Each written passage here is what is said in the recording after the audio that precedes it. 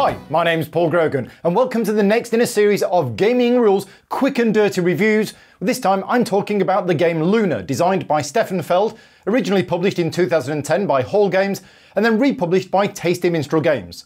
This is one of the games that was voted on by my Patreon supporters as one that I would review. So thank you very much to all of my Patreon supporters for making this video possible. And if you do enjoy my content, then please consider supporting me over at patreon.com forward slash gaming rules. Anyway, on with Luna. So this is a Stefan Feld game. And I know a number of people out there don't like Stefan Feld games, and even those people who do like them say that they're all the same. Well, personally, I'm a massive Stefan Feld fan, so I find all of his games different. I, I, mean, there are similarities between them, but this is one of the most different kind of games. It does play very differently, and it is quite, I, I believe that it's a little bit under the radar. It's not known as one of, you know, the really, really top popular, super popular Stefan Feld games, but I think it's underrated. I think it's a very, very good game, and there's a lot to like about it, which I'll try and go into here. So one of the issues with the game, I guess, is sort of accessibility. In this game, the player aids, which are absolutely fantastic, there's 14 different actions that you can do on your turn. And you kind of have to explain each one of them before you start playing, even though some of them, it, it won't be clear exactly why you're doing them.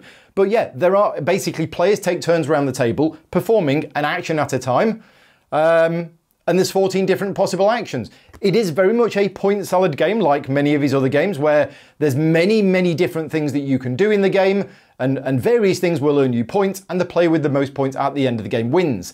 One of the things I really like about this game is the passing mechanism. Now, if we just go back to the 14 different actions you can take, when I'm teaching it, the one I always explain first is action number 14, which is to pass.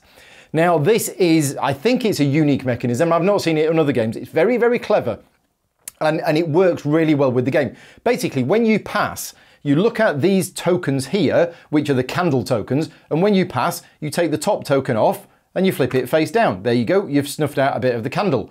And basically, when it's your turn again, you're still in the game. So when you pass, you're not, you're not out of the round, when it gets back round to you, you can pass again, for example, and then you would flip over another tile and so on and so forth. Now, the player who flips over the last tile, you can see that there's a little number one on it. That's a victory point. So the player who actually does that will get one point. And that, flipping over that tile, that marks the end of the round. So, in other words, let's take a hypothetical situation here.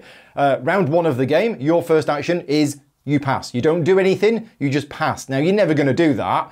But let's say you did, the first of the candle tokens would be flipped over. When it comes back round to you again, you just keep passing. You don't actually take any other actions in the game.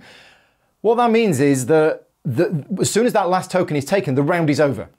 Now, there's two diametrically opposed strategies in this game, and there's all sorts of places in the middle as well. There's one strategy where you get lots of your workers, because there are these little worker things, and you can get more of them during the game, you can recruit them. Um, but then you'll be taking lots and lots of turns because you're limited on a turn with the actions of how many you use. Another strategy is that you get lots and lots of priests in the temple. Now that means priests in the temple will generate you points every round, but they're gone. You don't have them to use. Therefore, you will be taking less actions in a round. Now, I've been caught out in this game by playing it where one player was going heavily into the temple strategy, um, which basically meant they only had two or three workers to play with each round, which meant they'd do a couple of things and then they'd start passing.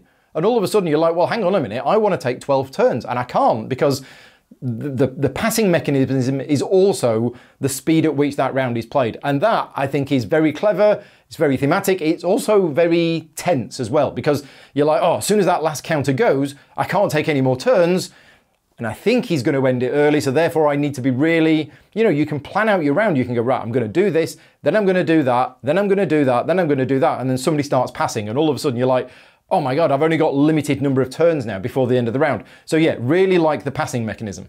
Now I mentioned it is a bit of a point salad game. There's, as I said, there's lots of things that you can do in the game that will generate you points. A lot of the time you can plan ahead. So you know, bear in mind what I said earlier about people passing early and ending the round early, you can actually come up with a plan. So it's like, right, so in this round, I'm going to swim these people here. Then I'm going to use this token. Then I'm going to refresh them, put them onto that island. Then I'm going to use them on that island to take one of those tokens. Then I'm going to do, you can plan out a lot of what you're going to do. and nobody can interfere with that in a way. Now, that's not to say that this is a multiplayer solitaire game. This has a nice, healthy level of player interaction as, as far as I'm concerned. So the temple spaces, the, this bit in the middle of the board, the spaces are basically limited. And you've got these tokens around the outside, and there can be some competition over who gets that token. Basically, you need to be on the right island at the right time and you basically seize the opportunity. And there are times where you're competing with another player for who gets in there first. So that's quite nice. The temple area, this bit's really nice because when you place a tile on the temple, it may kick out anybody who is adjacent to you who's on a lower numbered tile.